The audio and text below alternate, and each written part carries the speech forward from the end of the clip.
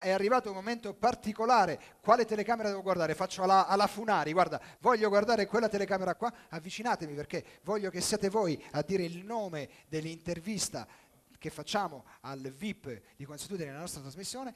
Quest'oggi vi presentiamo l'intervista che ho realizzato con Silvia Mezzanotte. Perfetto, a tra poco.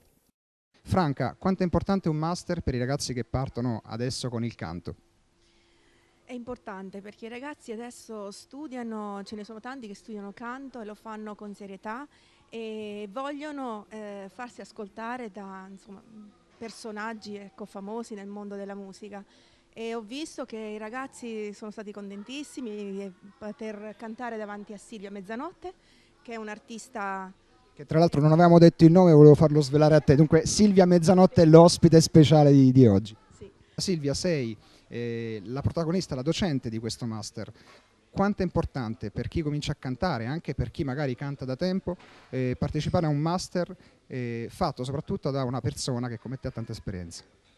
Bah, ehm, non so quanto sia importante, so solo che la mia volontà di condividere le mie esperienze con eh, i giovani che hanno voglia di intraprendere questo cammino nasce dal fatto che quando io ero alla loro età eh, questo confronto non esisteva e Dio sa quanto ne avrei avuto bisogno perché ho fatto tanti errori senza eh, avere un confronto e senza sapere quindi come correggermi.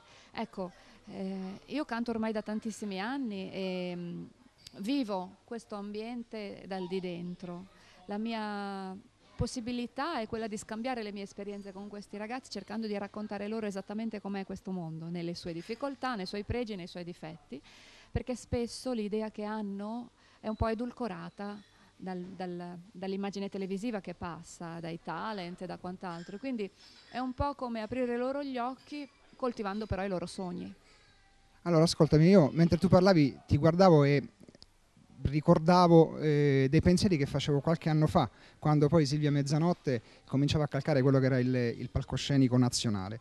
E, e tu diciamo, sei, sei, venuta alla ribalta delle cronache eh, grazie a una sostituzione importante, perché tu sei entrata con i Mattia Bazzar per sostituire una voce altrettanto importante che poi, tra l'altro, secondo quello che è il mio modestissimo parere, l'hai sostituita, sostituita l'hai, eh, come si dice, eh, è entrata a far parte dei Mattia Bazar, ma eh, tra l'altro veramente brillando di luce propria. Però una persona che entra in un gruppo dove per tanti anni era stata una cantante importante quale Antonella Ruggero, con quale spirito affronta una situazione di questo genere? Beh, io mi sono fatta forza di una notevole dose di incoscienza, prima di tutto, eh, della gavetta, perché provenivo da quasi 11 anni di, di lavoro fatto nei locali, nei, nei pub, eh, e quindi della mia volontà di emergere sapendo di avere eh, nel mio paniere sia l'opportunità di cantare il passato dei Mattia Bazar eh, portandolo al pubblico però con eh, la mia personalità e sia di lavorare su tutto il nuovo, il nuovo che poi è arrivato con grandi successi come Brivido Caldo, Messaggio d'amore che Piero Cassano, Giancarlo Golzi e Fabio Perversi hanno poi eh, scolpito mie, sulla mia natura vocale e è abbastanza difficile ipotizzare che la grande voce di cui parli, cioè Antonella Ruggero, eh, si presti a cantare una canzone come Brivido Caldo perché non è proprio nella sua natura vocale, mentre invece eh, fortunatamente nel mio percorso nel percorso vocale c'è la possibilità di cantare brani storici come Vacanze Romane, come Cavallo Bianco, cercando di rispettarne eh, la tradizione nell'originalità. Allora, ascoltami, tu parlavamo di esperienza, parlavamo eh, di importanza di di, delle esperienze anche no, vissute e replicate, dunque poi eh, distribuite agli altri come stai facendo tu adesso in questo, in questo master. Eh, mi viene un attimino spontaneo chiederti eh, l'esperienza di Silvia Mezzanotte per arrivare a quella che è poi, eh, diciamo così, eh, la perfezione vocale. Io ti ho sentito cantare dal vivo eh, sono venuto a sentirti qualche tempo fa e ti giuro l'impressione che ho avuto è di sentire un CD, perché... Malissimo, cosa mi dici? un CD nel senso che eh, eri, eri, estremamente precisa e sono rimasto estasiato. Io ero sotto al palco, non mi sono mosso fino alla fine tra l'altro, dunque te lo dico con, con estrema convinzione è importante, oltre che lo studio, anche la, dice, l'attitudine la, eh, e la possibilità di cantare tanto?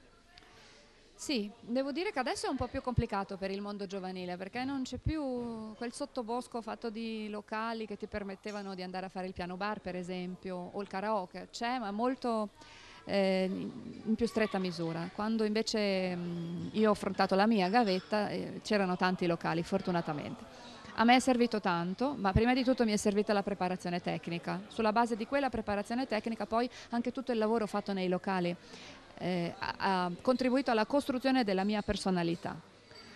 Eh, queste sono le due cose importanti. Sulla terza, cioè la perfezione di cui parli, sto lavorando, nel senso che sto andando a cercare la perfezione dell'imperfezione, perché io sono una persona, ahimè, estremamente precisa e quindi cerco sempre di stare molto attenta all'intonazione, ma la cosa che conta di più quando si canta live è l'interpretazione, la capacità di trasmettere emozione, è la comunicazione e la comunicazione qualche volta passa anche da una nota stonata.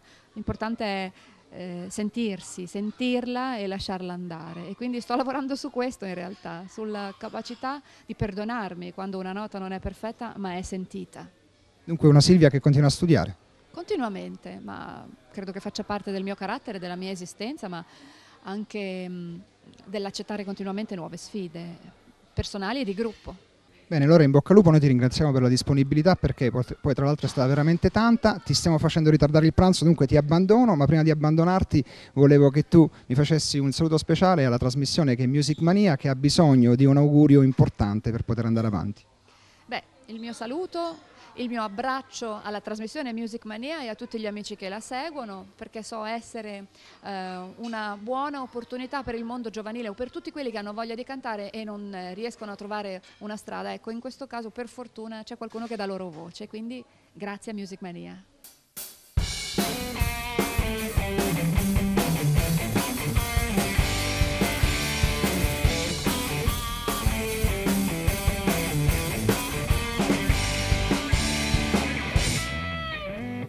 Cari amici, cari telespettatori, siamo tornati, abbiamo ascoltato la voce autorevole e tra l'altro della bellissima Silvia Mezzanotte, voce importante, delle, importante del palcoscenico nazionale.